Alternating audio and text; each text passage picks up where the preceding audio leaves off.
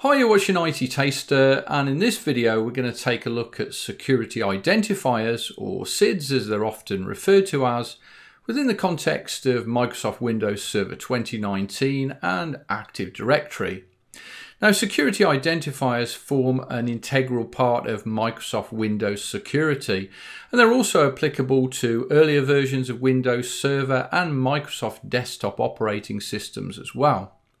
Now this video is laid out to give you a quick overview of SIDS, so we'll take a look at just a couple of slides and then we'll move over to our server in the lab where we can do some practical and take a look under the hood and examine SIDS more closely. Before we do that, don't forget to give the video a like if you enjoyed it, leave a comment below, subscribe to the IT Taster channel, and I'm also around on social media and I'll leave the links to that in the description below. So with that said, let's get started.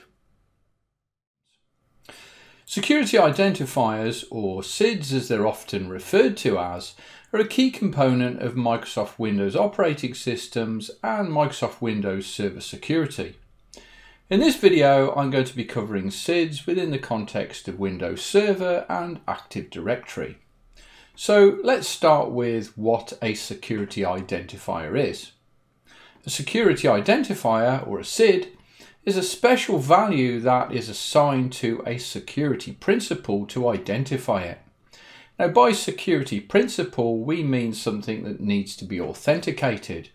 An example of a security principal is a user account, but there are other security principals too, including groups and computers. So let's take a look at a user account, for example. When we create a new user account, in this case the user John, John is the name we assign to the new user to identify them. When we work with Windows Server, we work with the user object John. We might add the user John to a group, for example. But the operating system will uh, identify users very differently. In fact, it will assign every uh, user a security identifier a SID, as you can see here.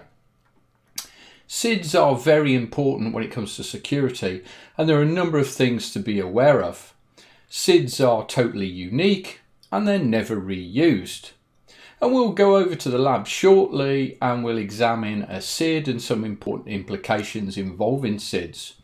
But before we do that, I want to give you a quick overview of the authentication process when a user signs into a domain. Firstly, the user signs in, uh, logs on, by typically presenting a username and password. Now, when signing on to the domain, this is forwarded to a domain controller. Active Directory domain services will validate the information. And if the validation is successful, an access token is generated. The access token contains the user's security settings and the all-important security identifier, the SID. Now the settings contained within the access token determine the user, uh, determine the resources that the user is able to access. So let's go over to the server in the lab and take a look at SIDs in action and I'll also talk about some important things to be aware of. So I'm going to start by logging into my Windows 2019 server in the lab.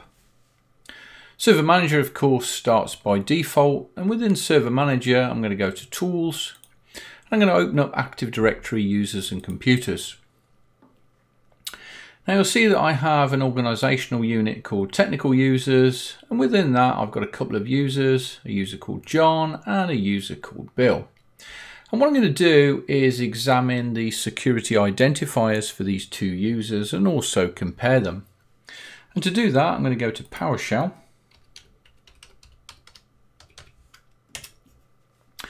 I'm just going to resize this window a little bit. And the commandlet that I'm going to use is get hyphen ad user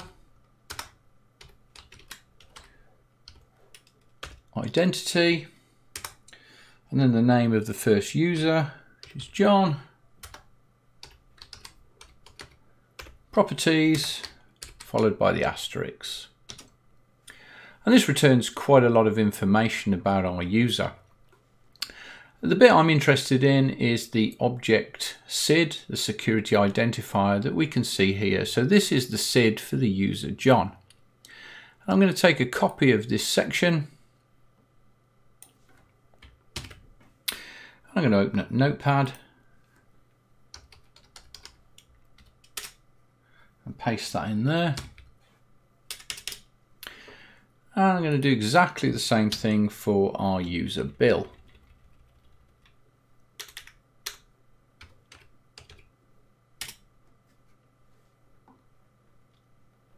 So there's the SID for our user bill. I'm going to copy that section again paste that into Notepad. Okay, so what I'm going to do, I'm just going to quickly run through how the SID is made up. So it begins with the letter S to tell us it's a security identifier. And then the number one represents the version of the SID, version one. After that, we have the authority, and number five represents an NT authority. And then after that, we have a sub authority, 21 in this case, which represents the domain SID, the domain security identifier. And that runs all the way up to here. And you'll notice this part of the SID is both identical for John and for Bill as well because they belong to the same domain. And then at the end, we have what's known as a relative identifier, a RID. And a number 1000 or above indicates that it's not created by the uh, by default by the operating system in this case. And you'll notice that this is the part of their SIDs that differ. Now the next thing I'm going to do is just go back to Active Directory users and computers and I'm going to create a new user.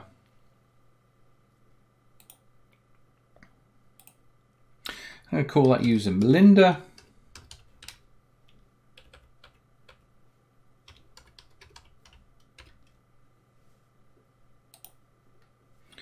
Give a password.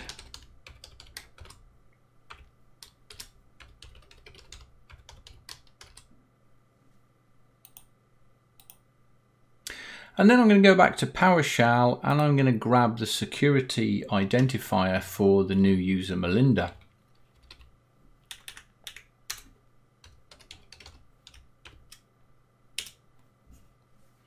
And we'll scroll back up. And there's a security identifier for Melinda. So I'm just going to take that whole section, copy it, and paste that into Notepad again.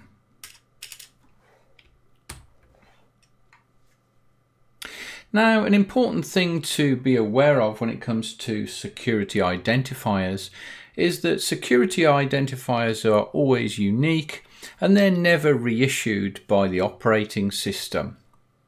Now what I'm going to do is I'm going to pretend that we've made a mistake and we've accidentally deleted Melinda from Active Directory. So I'm going to go back to Active Directory and I'm going to delete the user Melinda and confirm. So we've accidentally deleted the user Melinda. So to rectify the problem, I'm going to recreate the user again. So I'm going to go to new, user, and Melinda.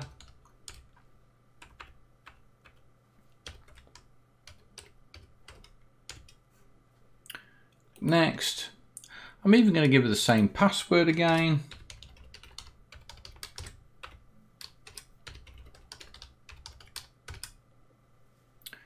Next, and finish. And we've recreated the user Melinda.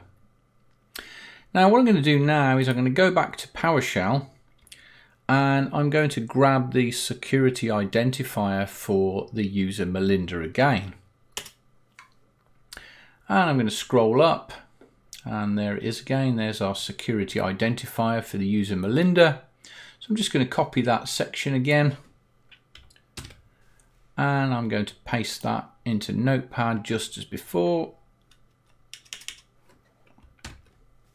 Now you'll notice that if we compare the two, there's the first uh, Melinda user account that I created with the uh, relative identifier of 1121. But notice uh, after I deleted the user account Melinda and I created her again, we now have a new relative identifier 1122. So when we deleted Melinda's user account, any resources she was able to access were determined by her unique SID and security permissions. Even if we create a new user with identical name and login, the new user SID is not the same and therefore won't be able to access the same resources. And this can sometimes catch out novice administrators.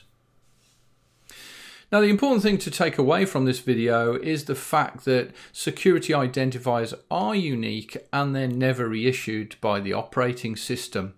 It's really important to always keep this in mind as an IT professional, particularly when you're working with imaging software and you're taking images of Microsoft desktop operating systems.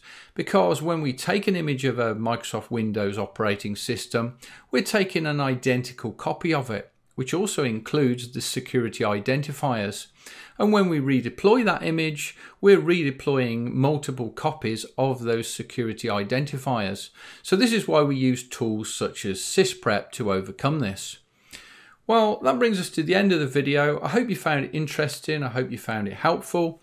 If you did, please give the video a like, drop a comment below, subscribe to the IT Taster channel, I'm also around on social media and I've left the links below in the description.